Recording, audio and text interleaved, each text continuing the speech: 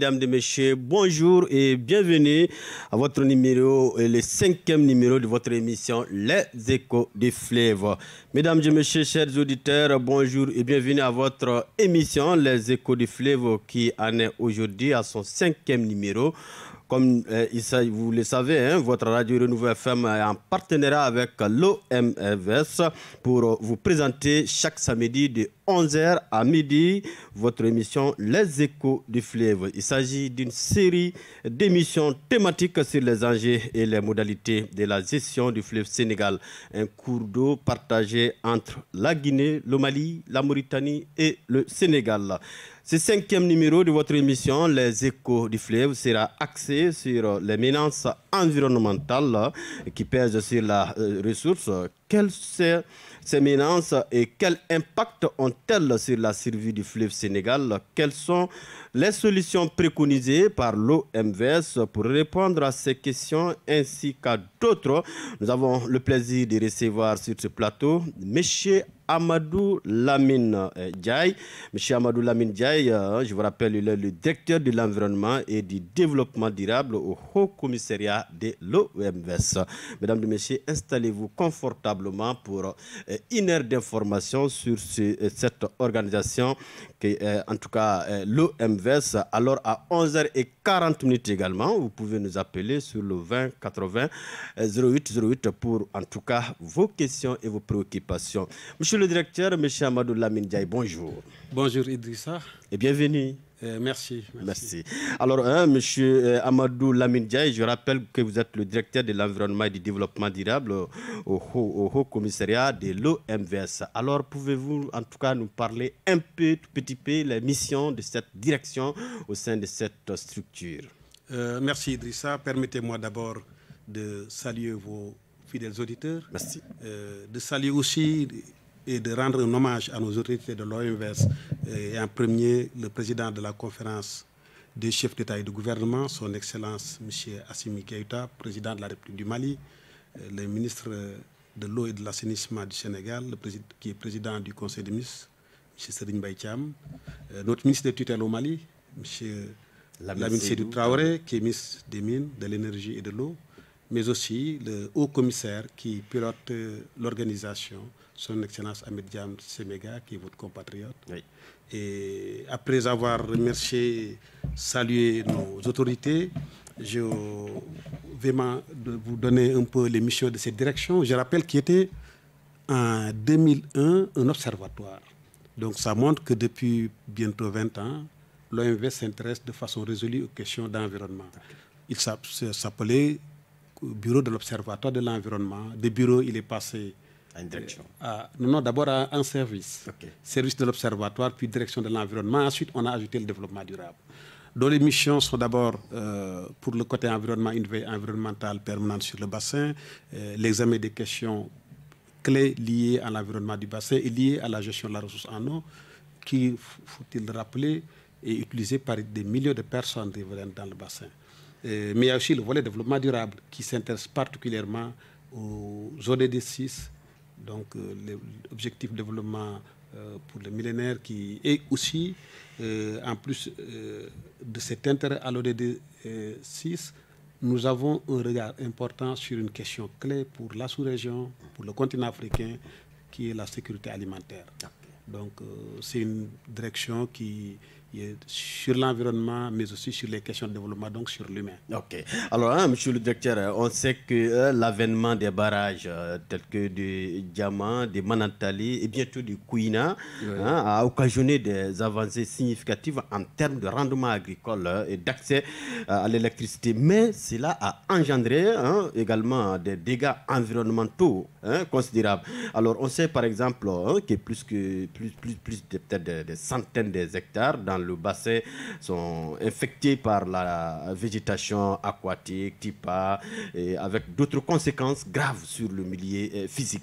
Qu'est-ce que vous, qu'est-ce que vous pouvez en tout cas nous expliquer en tout cas de ces différentes réalisations, mais qui s'est fait également sur euh, cet environnement? Euh, Oui, c'est ça le, revers de la médaille quand on fait le développement, on investit, on cherche le mieux-être des populations, mais en, cherchant à changer l'écosystème, on tombe parfois sur des inconnus.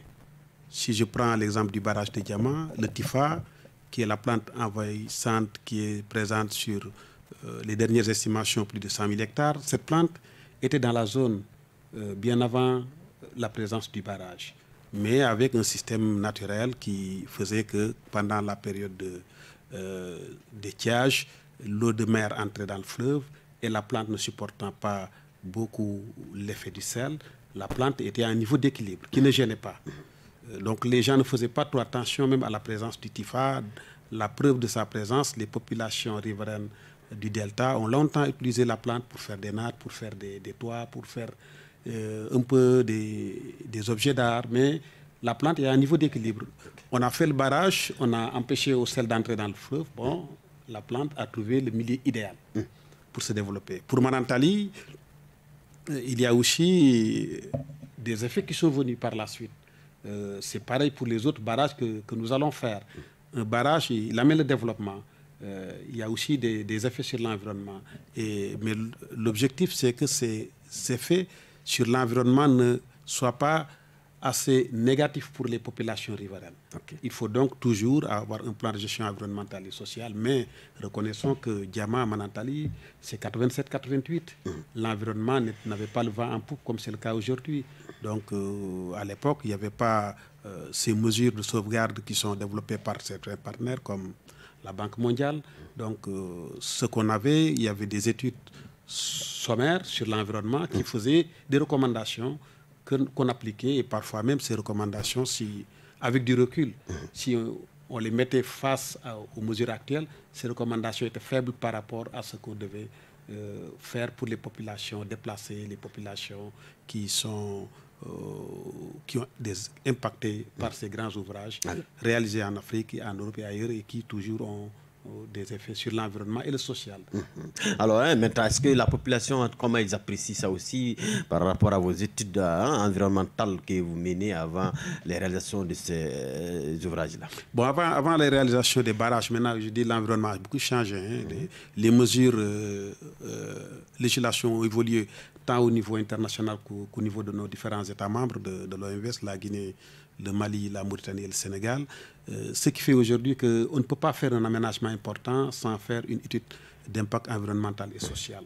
Euh, avec un plan d'action, un plan de gestion environnementale et sociale, si ça nécessite des déplacements de population, on fait un plan d'action de réinstallation ou avant ou tout au, moins un cadre d'action, un cadre de réinstallation.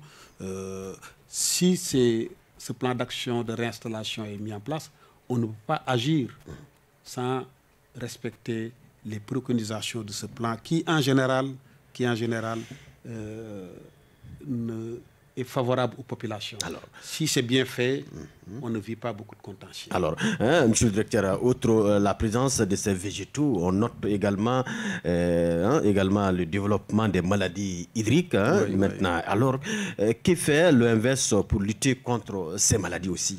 Bon, les maladies liées à l'eau sont, surtout développées, elles sont développées dans tout le bassin, mais c'est la zone du delta, là où il y a le TIFA, que ces maladies, surtout deux, les, les, les, les, les ont explosé après les barrages. Euh, à un niveau qui, était inquiétant et qui faisait que beaucoup d'ONG de défense de l'environnement attaquaient notre organisation, non pas sur le plan des réalisations, mais sur ce petit problème, sur ce problème pas petit, mhm. lié à, la santé des populations. L'OMVS n'est pas resté les bras croisés. Euh, dans le passé, un premier projet a été mis en place, un programme pour aider les populations à euh, mieux connaître les effets de ces maladies, mais aussi en plus distribuer des comprimés.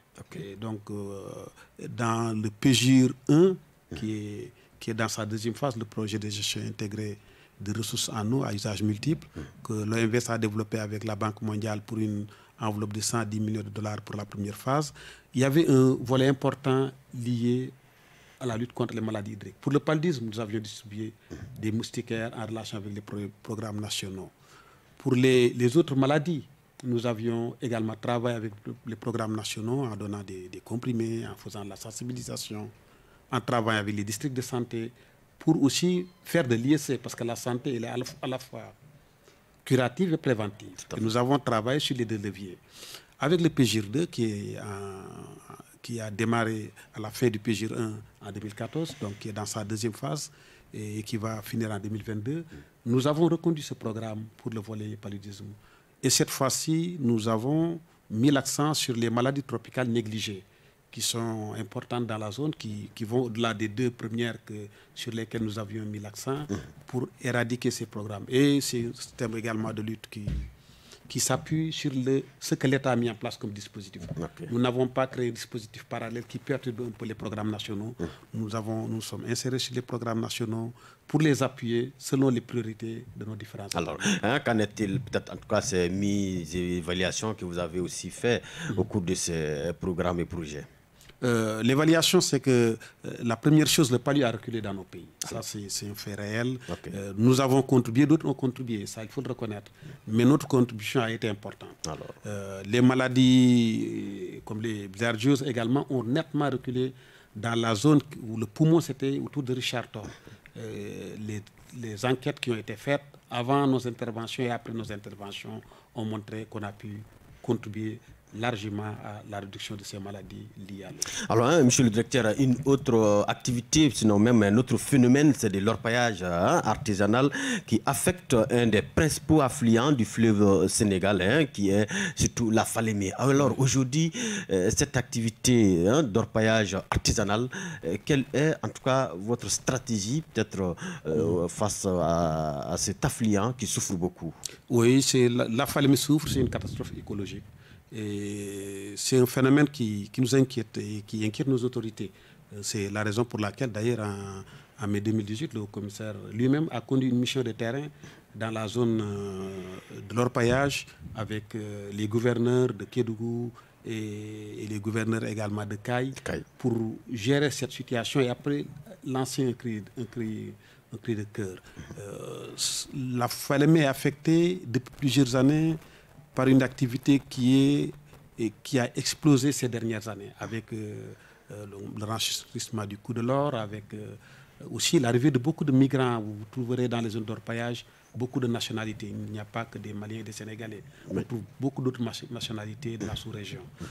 bon, mais il y dans l'espace CDAO. le problème, qu'est-ce que nous faisons? Nous, nous avons d'abord travaillé sur un volet qui est important, c'est la sensibilisation. Montrer aux décideurs politiques, montrer aux, maires, euh, aux gouverneurs, mais aussi aux, autorités locales, euh, les chefs de village, que cette pratique elle est dangereuse pour la ressource, elle est dangereuse pour leur, santé. En plus, nous sommes également dans le volet scientifique. Nous, venons de démarrer une étude euh, financée par notre partenaire, l'Agence française de développement, pour la caractérisation de leur paillage pour ne pas dire seulement que c'est dangereux, mais pour donner, avec des données scientifiques, le niveau de danger et alerter les populations. Nous travaillons aussi avec des ONG, euh, dont euh, un regroupement qui s'appelle Observatoire, euh, dont une grande ONG malienne et d'autres ONG de, de la sous-région du Sénégal et de la Guinée, pour voir un peu comment la société civile peut nous aider dans ce plaidoyer pour que l'orpaillage qu'on ne peut pas arrêter, hein. on ne peut pas du tout dire qu'il n'y aura plus d'orpaillage, parce que c'est des milliers d'emplois. C'est aussi une source de, de, création de richesse euh, pour les populations riveraines. Mm. Mais comment encadrer l'activité, comment la rendre utile à ceux qui ont choisi de faire ce métier, mais également euh, utile à l'environnement et que, que ça ne soit pas une menace? Alors, pour ces populations. Alors, hein, les, menaces ne sont certainement pas seulement l'orpaillage. Hein. Les autres menaces environnementales hein, ont pour nom déforestation, érosion des berges, ensemblement, pollution des têtes de, sources, ainsi de suite. Est-ce que vous pouvez revenir sur chacun de ces phénomènes ainsi que leur impact sur la vie du fleuve Sénégal ce sont des phénomènes liés. Ce sont des phénomènes liés parce que quand on dit, parle de, l'érosion, de l'ensablement, euh, il y a des liens. Euh, quand on parle de déforestation et de dégradation des terres, il y a des liens. Euh, mais ici, il y a des facteurs importants. C'est l'effet de, de l'homme, l'effet anthropique.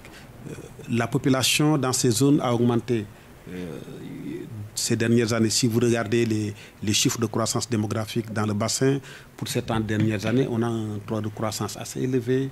dans une zone qui attire aussi. C'est normal parce qu'il y a les ressources en eau, il y a des opportunités pour vivre de façon paisible. Euh, et les populations, avec euh, les effets des sécheresses, avec euh, aussi le, fait que c'est dans certaines zones, la nature soit sollicitée pour différents usages, les populations ont, beaucoup agressé la nature par la déforestation, par les feux de brousse. Et, ces effets, c'est pratique quand il n'y a plus de, couvert végétal. on a inéluctablement avec euh, l'effet du vent, l'effet de la pluie, l'érosion est là. Euh, quand le sol n'est pas protégé également, les, questions de dégradation des berges arrivent. Maintenant, nous, notre stratégie, c'est d'abord d'informer ces populations, parce que aussi, le développement, c'est un tout. On ne peut pas du tout, euh, devant la dégradation des berges, devant l'ensablement, la déforestation, agir pour compenser seulement. Parce que si vous agissez pour compenser sans euh, sensibiliser les personnes qui s'adonnent à ces pratiques, euh, ça va ce sera un travail sans fin. Mmh. Euh, c'est pourquoi dans tous nos projets, il y a toujours un volet important de sensibilisation des populations, mais aussi un volet lié à l'appui de ces populations pour des pratiques alternatives. quand une population fait la déforestation, euh, trouve du bois pour le charbon, il faut trouver autre chose. Il faut créer d'autres activités génératrices de revenus qui deviennent, des, voilà, qui deviennent des alternatives. Et nous travaillons sur ce levier parce que il ne suffit pas de leur dire. Est-ce que vous avez des réalisations faites dans ce cadre-là Par exemple, ah. peut-être trouver des riverains, ah. en tout cas qui s'adonnent hein, à la déforestation pour euh, les questions économiques. Euh, et vous êtes en train de dire comme si vous êtes, en tout cas, dans vos stratégies, vous menez encore, vous faites nourrir des projets pour, euh, pour les faire soulager. Ah, bien sûr, bah, bien sûr. On travaille sur des réalisations concrètes. Par exemple, pour les zones qui sont les plus affectées hein, dans, le haut bassin, que ce soit en Guinée ou au Mali, euh, on développe des activités alternatives. Par exemple, l'appui pour développer de petits périmètres maraîchers, mmh. pour des périmètres irrigués villageois, mmh. euh, des actions également de reboisement mmh. ou des bois villageois que nous finançons. Euh, mais en même temps, nous protégeons, nous, nous protégeons les berges en faisant des investissements importants. Et tout cela, donc, c'est à la fois l'action de protection, mais aussi l'action de développement pour que ces populations euh, aient les moyens de ne pas ou ne soient pas obligées de faire euh, la même chose que par le passé. Et nous travaillons avec des ONG, des ONG qui ont un important volet ISC pour euh, montrer à ces populations le danger encouru et en même temps faire des propositions d'activités alternatives pour que la nature ne soit pas éternellement agressée dans ces niveaux parce que c'est important aussi que ces populations sachent qu'elles vivent de la nature.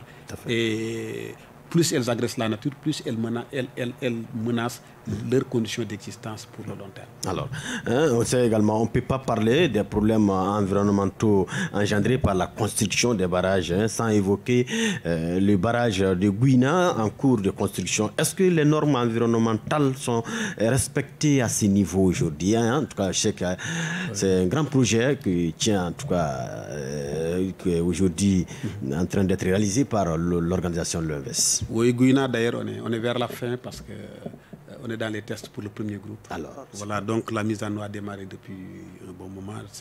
C'est aussi un des succès de l'organisation. Mmh. Et pour le volet environnement, pour Guyana, nous avions démarré euh, bien avant la construction du barrage par euh, une étude d'impact environnemental et social avec un PGS, un plan d'action de restauration. Nous avions actualisé tout cela parce que entre la fin de l'étude et le début des travaux, il y a eu un décalage. Et quand nous avions actualisé, nous avons également mis en place un mécanisme participatif euh, avec une commission régionale qu'on appelle la CRK, la commission régionale de CAI, pilotée par le gouverneur, commission dans laquelle on retrouve les administrations de, de toute la région, donc au niveau des concentrés, les maires et les chefs de village.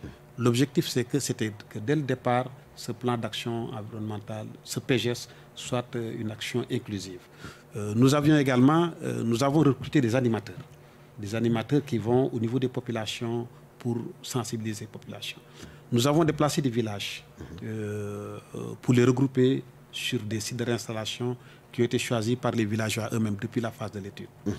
Après cette réinstallation, nous les logements qui, qui, ont été construit. En tout cas, les populations ont montré leur satisfaction parce que nous avons pris des plans des ATT Bougou à l'époque.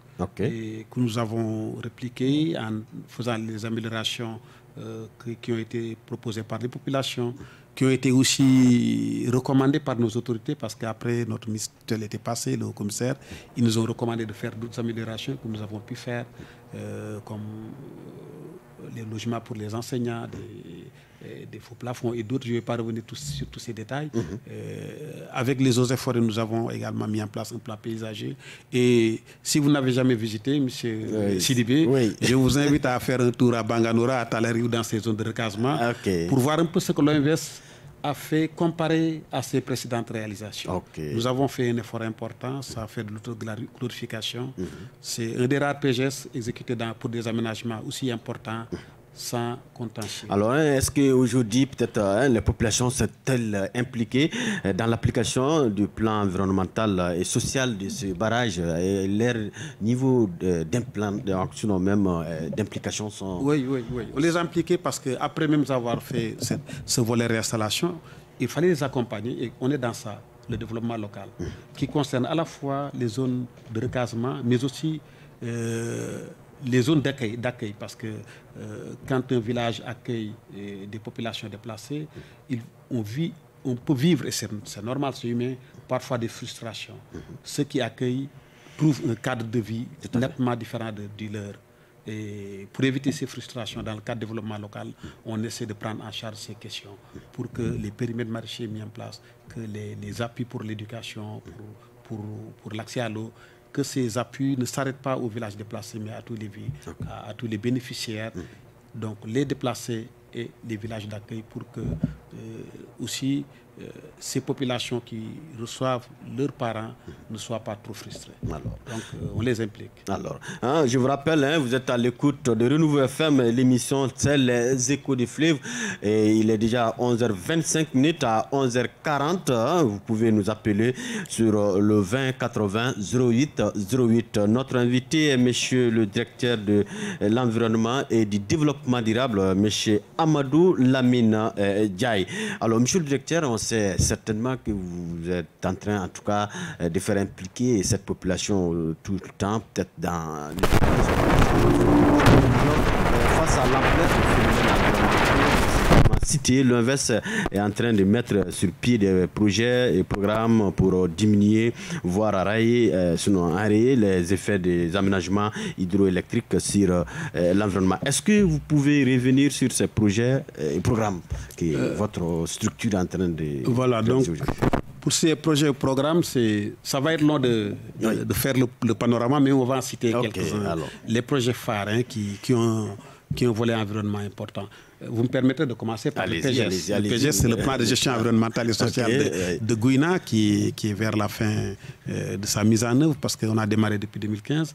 Euh, on est dans la phase développement local. Donc, dans un PGS, quand on est à ce niveau, euh, on va vers la phase la moins compliquée, mais aussi la plus sensible.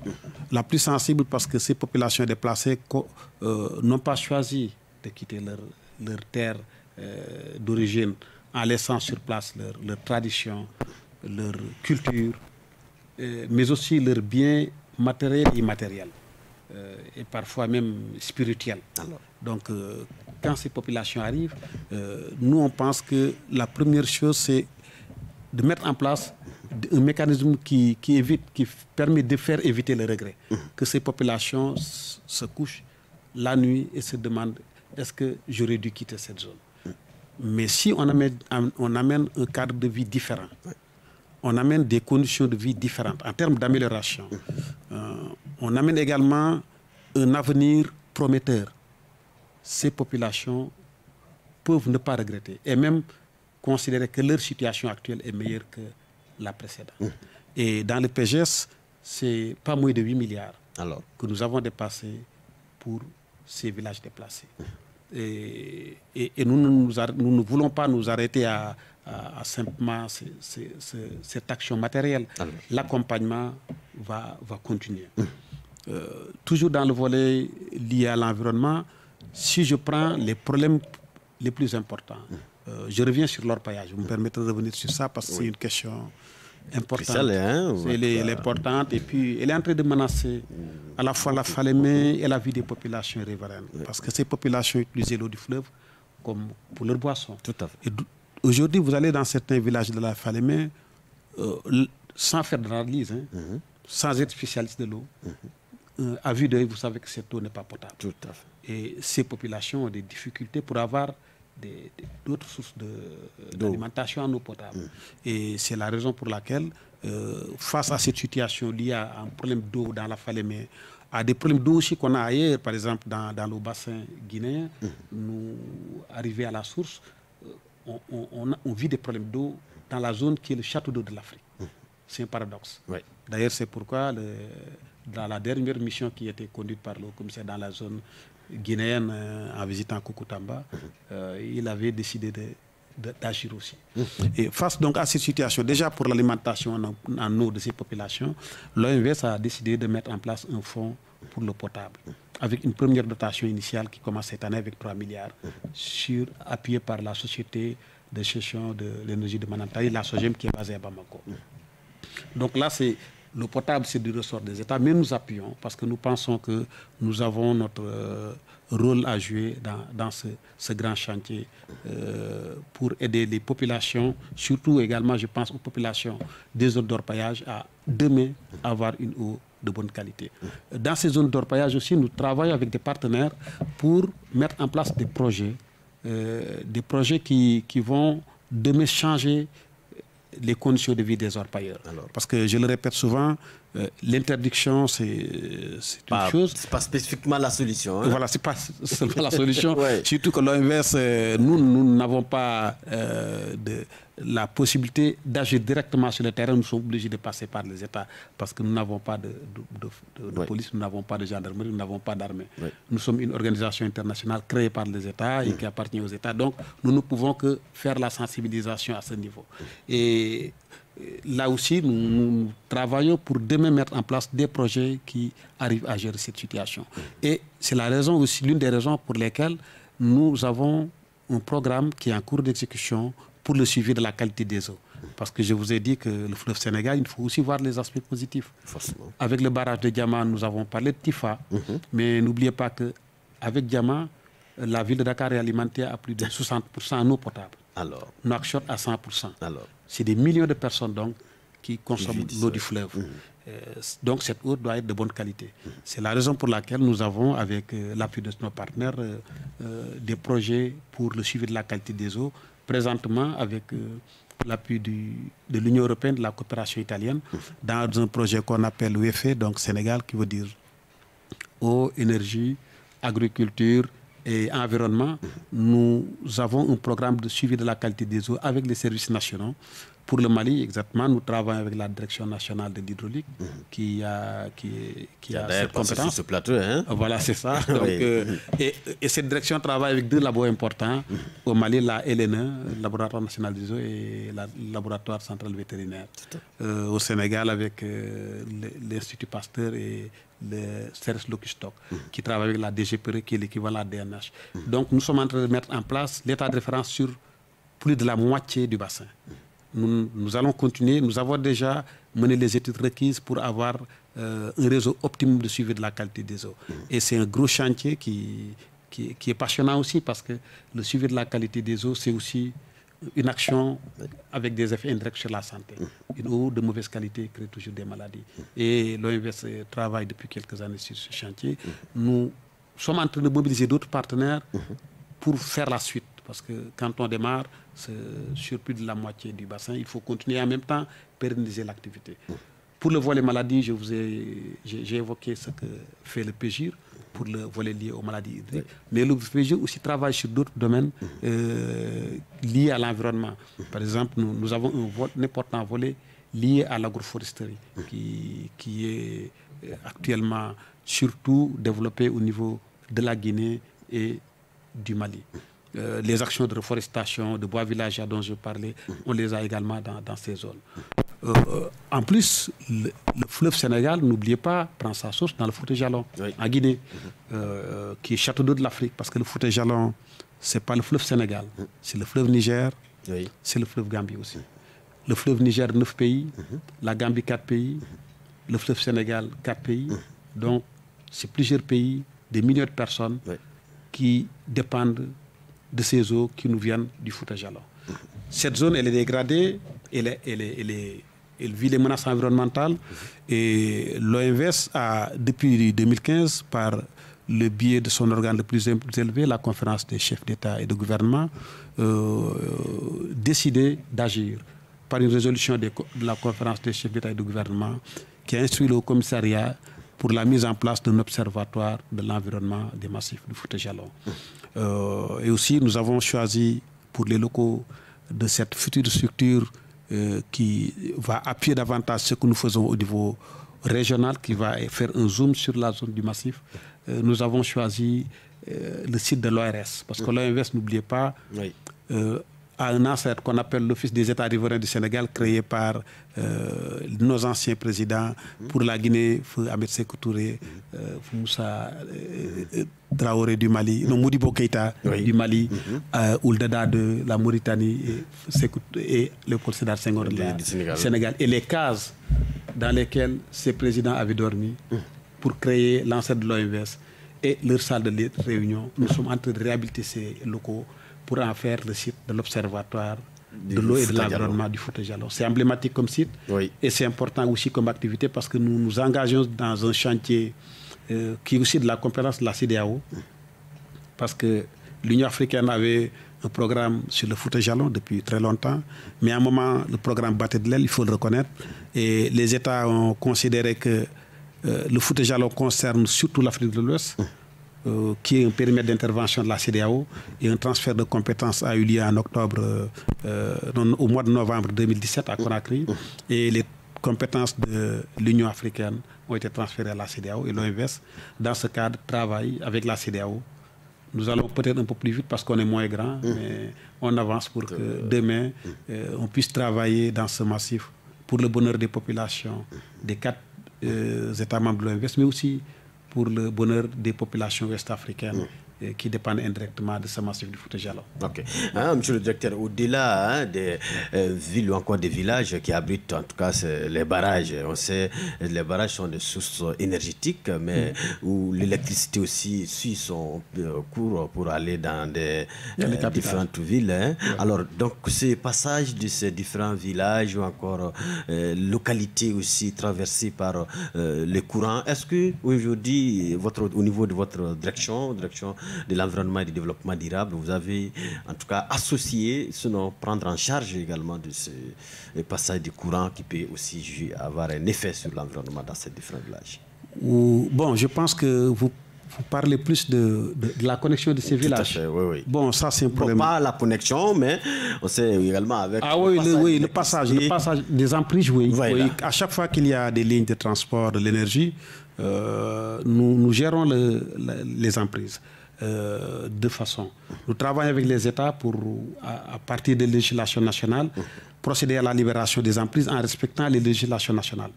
Euh, là aussi où c'est nécessaire, nous faisons des indemnisations parce que parfois l'emprise traverse un champ, traverse un verger, traverse même un bien, par exemple une maison où on, fait la libération avec les populations, avec un système d'indemnisation correct. Alors. Parce, que, parce que si on ne libère pas ces emprises, on met nos infrastructures en danger, mais en même temps les populations riveraines en danger. Et le développement, c'est pour les populations. Donc on n'investit on n'investit pas, on n'agit pas sans tenir compte de la sécurité des populations qui sont les bénéficiaires aussi de tous nos aménagements. Alors, hein, on sait, hein, est-ce que pensez-vous pouvoir arriver à bout de ces problématiques hein, sans le soutien des États membres Vous avez en tout cas précédemment cité euh, tous les efforts que vous êtes en train de fournir. Alors, on sait que euh, politiquement, les, les, États sont beaucoup plus sollicités. Est-ce que pensez-vous pouvoir arriver à bout de ces problématiques sans le soutien de nos États? Euh, les États, nous avons la chance à l'OMVS.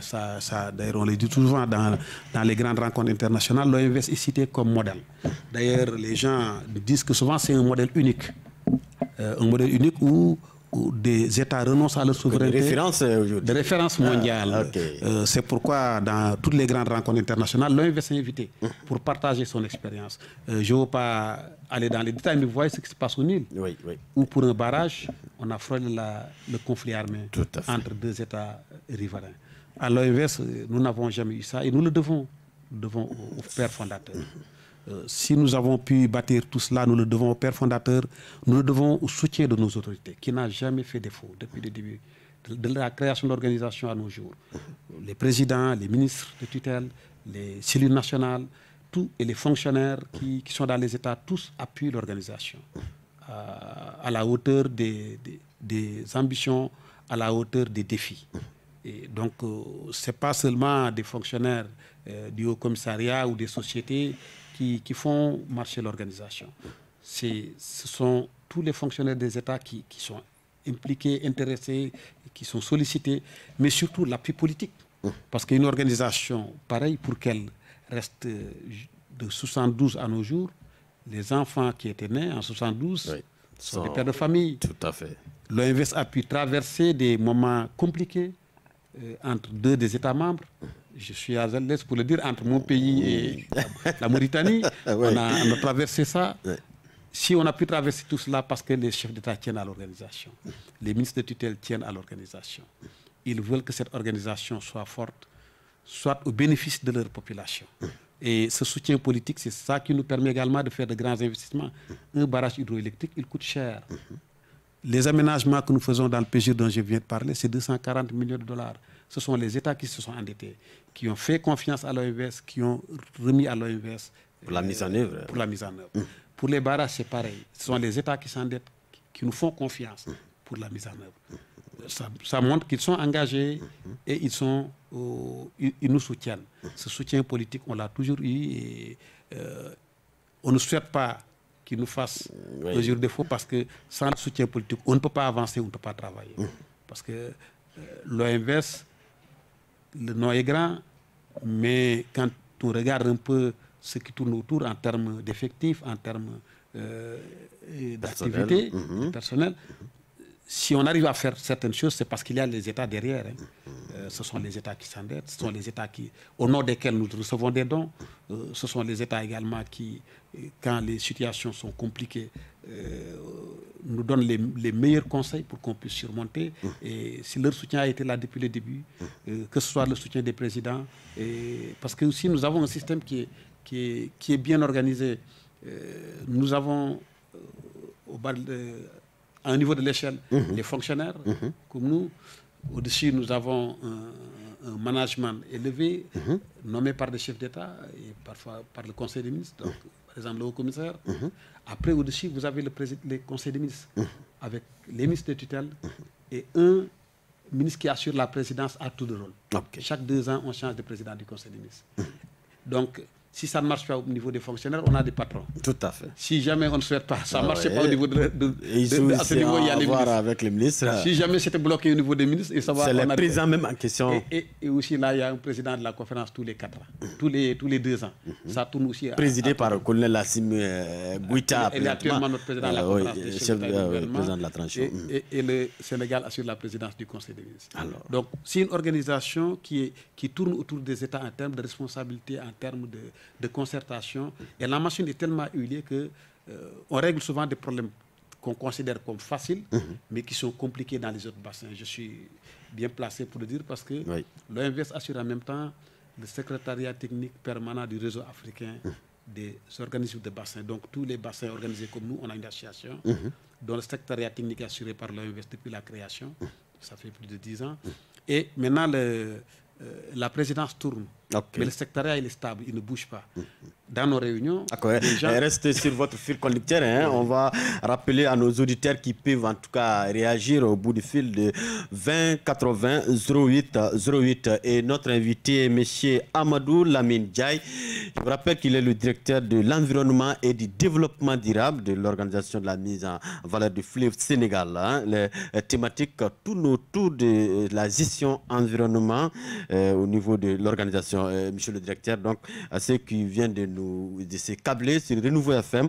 Je vous rappelle que vous êtes à l'écoute Les Échos du Fleuve. Les Échos du Fleuve, c'est chaque samedi de 11h à midi. Et vous pouvez en tout cas euh, réagir au bout des fils de 20 80 08 08. Et d'un moment à un autre également, nous allons faire écouter, euh, sinon même euh, encore visionner le bulletin hebdomadaire. Monsieur le directeur, oui, donc vous pouvez continuer. Vous voilà. en train de dire quand même Je parlais du réseau africain des bassins. Oui. Et je dis que quand, à chaque fois qu'on a des réunions, les gens sont, sont émerveillés par ce qui se fait à l'OMS. Ils disent comment vous arrivez à... Déjà, le premier problème pour eux, comment on arrive à faire un ouvrage commun. Par exemple, le barrage de Manantali, qui est au Mali, qui appartient à trois États. C'est un problème pour eux parce que si vous prenez tous les organismes de bassin africains, chacun gère son affaire chez, lui. Et ensuite, comment on arrive à faire une gestion Cette gestion commune aujourd'hui est euh, devenue... Sans, conflit. Regardez ce qui se passe au Nil. Dans le cadre du réseau africain des bassins, à un moment, on, a, on agit par euh, région géographique parfois. Parce qu'à un moment, on a travaillé dans le réseau, on avait l'impression que les anglophones étaient un peu frustrés. Hum. La présidence est devenue anglophone avec le fleuve Orange. Hum. on a embarqué le Nil en leur donnant la vice-présidence. Euh, mais au même moment où on a embarqué le Nil, on avait un des pays membres du Nil, que je ne sais pas, mhm. qui est venu pour adhérer en tant que pays. En dehors de, mais qui n'était pas venu avec quoi? C'est comme si je dis, on est dans le réseau africain des bassins, un des pays membres de l'OMS dit oui, l'OMS est membre, mais moi, je vais être membre en tant que pays, en dehors de, de l'OMS. Nous, c'est inimaginable chez nous. Tout à fait. On l'a vécu dans le réseau africain. Hum. Et c'est pourquoi je pense que euh, cette, cohésion qu'on a euh, au niveau de l'OMS, c'est une originalité parce que même sur le Rhin, mhm. moi je discute, je travaille beaucoup avec les, partenaires européens, mhm. on n'a pas euh, l'agence du Rhin s'occupe de certaines questions, mhm. mais il y a d'autres, elles sont d'ordre national. Et dans nos débats aussi, il, se demande souvent comment, dans les années qui ont suivi immédiatement les indépendances, les chefs d'État ont pu avoir une telle vision pour aller aussi loin. Hum. Et si vous regardez les textes, je le dis souvent, hum. ce sont des textes qui sont également, qui sont toujours d'actualité. Et quand on les compare euh, avec les textes des bassins, d'ailleurs, je ne sais pas combien de mails nous avons fait pour partager nos textes, hum. nos recueils de textes. Parce que souvent, quand un bassin versant se crée dans dans, la sous-région, quand un bassin est en train de revoir ses textes, mhm. euh, le premier réflexe, on leur dit prenez des textes de l'OMS. Alors, j'ai été sollicité à maintes reprises pour partager nos textes. Mhm. Et là aussi, c'est parce qu'ils euh, ont été bien faits à l'époque. Mhm. Je, reprends toujours à l'époque. À l'époque, oui, hein, bien sûr. Pas de 2021. Tout à fait. Alors, donc, euh, nous allons en tout cas voir avec la technique. Hein. Vous savez aussi que chaque semaine, on a un bulletin hebdomadaire à vous présenter qui fait la situation de la semaine hein, sur le plan hydraulique. Donc je vous invite à, suivre le bulletin hebdomadaire de l'OMS.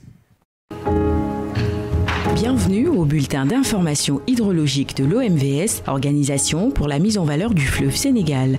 La situation hydrologique au 9 septembre 2021 au niveau des principales stations du bassin du fleuve Sénégal se présente comme suit. Pour les stations sur l'affluent principal, à Sokotoro, sur le Bafing en Guinée, le niveau de l'eau est à la côte 2,85 m à l'échelle. La tendance est à la baisse. À Balabori, sur le Bafing en Guinée, le niveau de l'eau est à la côte 4,36 m à l'échelle. La tendance est à la baisse. À Manantali, en amont du barrage au Mali, le niveau de l'eau dans la retenue est à la côte 201 m 31 IGN. La tendance est à la hausse.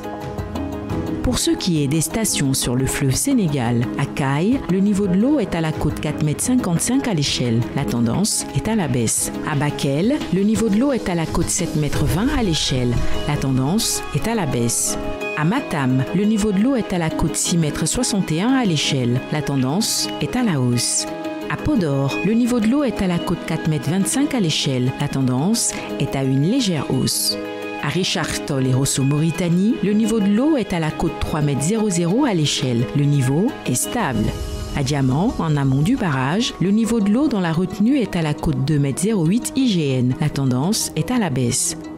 À Saint-Louis, le niveau de l'eau est à la côte 0,91 m à l'échelle. La tendance est à la baisse. En résumé, cette semaine dans le haut bassin, la tendance est à une baisse des écoulements sur les affluents Bafing, Bakoy et Falémé. Le remplissage de la retenue de Manantali continue. Dans la vallée, la tendance est à une légère hausse des niveaux d'eau, alors que dans le delta, les niveaux observés restent globalement stables. À la semaine prochaine pour un nouveau bulletin. Merci, c'était là en tout cas le bulletin hebdomadaire hein, de l'OMS. Monsieur le directeur, hein, on vient de suivre, sinon même écouter également le mhm. bulletin. Est-ce que vous avez un petit commentaire sur ce bulletin? Et en même temps aussi, est-ce que ça, euh, ça a un lien avec vous, votre euh, direction, qui est la direction de l'environnement et du développement durable? Ça vous donne certains éclaircissements sur euh, Oui, le bulletin hydrologique, il traduit l'évolution de la ressource en eau et c'est important pour le suivi parce que tout ce que nous faisons au niveau de l'OMS est lié à la ressource en eau.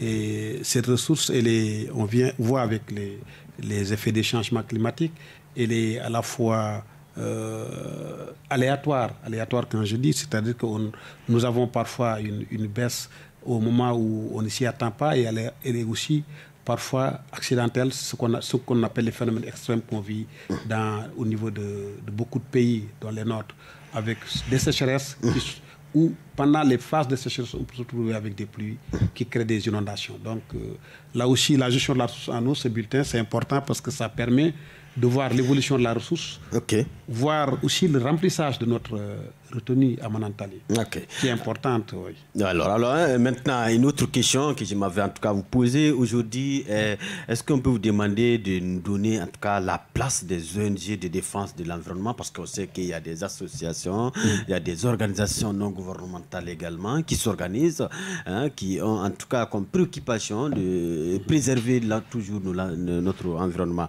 Alors, quelle place pour les ONG euh, de, de, défense de l'environnement bon, Ces ONG, elles, jouent un rôle important dans... Alors, euh, il me semble qu'un auditeur est au bout du fil. Hein. Ok, il est reparti alors. D'accord. Ces ONG sont, sont, importantes parce que euh, quand on est dans le domaine de l'environnement, on est dans le domaine social. Et ce domaine, ce n'est pas seulement l'administration, c'est aussi ceux qui sont dans la société civile. Mmh. pour la santé, par exemple, euh, l'OMS travaille beaucoup avec les ONG parce que dans le volet santé, tout ce qui est IEC a été confié dans nos différents pays à des ONG qui sont plus proches des populations sur ces questions de distribution de moustiquaires, qui sont également avec les populations sur euh, la sensibilisation euh, pour, pour le volet prévention de telle ou telle maladie. Donc nous, nous les faisons travailler dans nos projets en tant que prestataires. Nous les faisons également travailler en tant que partenaires. Et nous les, nous les impliquons également dans un organe important que nous avons, nous appelons le comité de bassin, qui fait un lien avec euh, euh, le bulletin hydrologique. Euh, pour le gérer la ressource en nous, nous avons un organe qui est la commission permanente des eaux, qui a été certainement évoqué par les collègues, mais également... Ok, on va recevoir hein, le premier auditeur. Allô? Ah, malheureusement, hein, la connexion. Euh, oui, allez-y, continuez, monsieur le directeur. Donc, je dis que nous avons la commission permanente des eaux, mais nous avons créé, nous avons un organe qui est mis en place depuis euh, un peu plus de deux ans, trois ans. Donc, c'est le comité de bassin, dans lequel il y a des collèges, un collège qui représente l'administration, c'est normal, un qui représente la communauté scientifique, nous avons des chercheurs, des universitaires, nous avons un collège des élus, les députés, les maires, etc., qui sont aussi jouent un rôle important dans euh, le développement et la préservation de la ressource, mais nous avons aussi un collège de la société civile. Alors? Qui est formé par les ONG. C'est pour dire que c'est des leviers que vous utilisez voilà, nous pour la mise en place euh, de vos préoccupations ou pour en tout cas la réalisation de ces projets. Nous les impliquons déjà dans le, en, ayant un collège mhm. dédié à la société civile. Mhm qui, à côté du collège des élus, du collège de l'administration et du collège de la communauté scientifique, ça montre que nous donnons un rôle important à cette société civile parce qu'elle est un acteur important de développement. Euh, en plus euh, de son rôle dans le comité de bassin, dans les différents programmes, nous, nous les impliquons. Par exemple, pour l'orpaillage, revenant à l'orpaillage, aujourd'hui nous avons le projet avec l'Union européenne et la l'UEFE. Ok. Allô? Allô? Bonjour, monsieur. Ama. Ah, radio. Oui, renouveau. Ah, voilà. À la mission, Oui, mais tu, tu, tu, tu peux peut-être euh, poser ta question en français Oui. Mm -hmm. Oui, allez-y. question pour la de là. Ah, ok, allez-y. Voilà. N'a dit ye min a ka baara ka ɲi kosɛbɛ Oui, mais le nom, tɔgɔ ni jamu moi sunkalo kɔnɔ de Ah, Vous nous appelez d'où? Kangaba samada la Ah, ah, allez-y. an b'a lamɛn don o don Mhm. Ok. Alors, euh, on continue, hein, monsieur le directeur. Allez-y. Donc, vous disiez Donc, euh, voilà. de ces Donc, euh, euh, oh, Je ces- parlais du projet VFE où nous avons également euh, un volet lié au suivi de la qualité des eaux et de leur paillage. Là, c'est c'est une ONG qui, qui travaille directement avec nos partenaires du Centre de recherche de l'Union européenne pour euh, ces questions liées à leur paillage. Donc, nous, à un moment, quand nous étions sur la question de l'action de terrain, surtout le, le volet socio-économique, nous avions fait comprendre à nos partenaires que les ONG ont une valeur ajoutée. Ce qu'une ONG peut faire sur le terrain, nous ne sommes pas toujours en mesure de le faire. Tout à fait. Donc nous, les considérons plus co- comme des partenaires, parfois comme prestataires, mais nous les impliquons autant que faire se peut. Par exemple, pour leur payage, nous avons euh, des associations aussi qui ne sont pas organisées comme les GNG. Euh, lors de la mission du haut-commissaire à- dans la zone d'orpaillage, les journalistes euh, du Mali et du Sénégal qui étaient présents ont créé une association dénommée souvent La Falémé. Alors, oui. Ouais. Ok, allez-y. Ah, Allez-y, oui. Et, et Donc, cette association, pour nous, c'est un partenaire euh, important parce qu'elle regroupe des, des professionnels des médias Tout à fait. qui fait un travail de sensibilisation.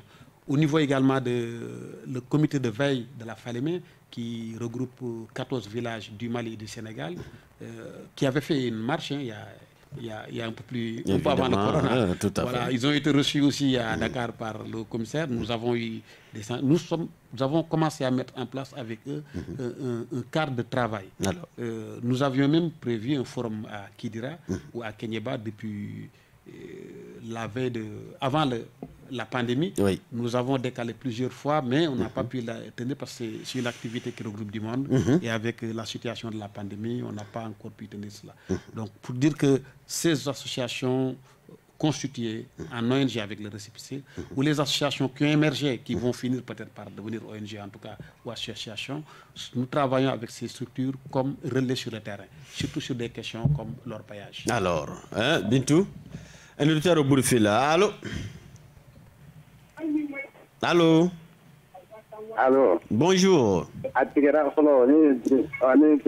sunkalo kunare kɔfilakɛ Oui.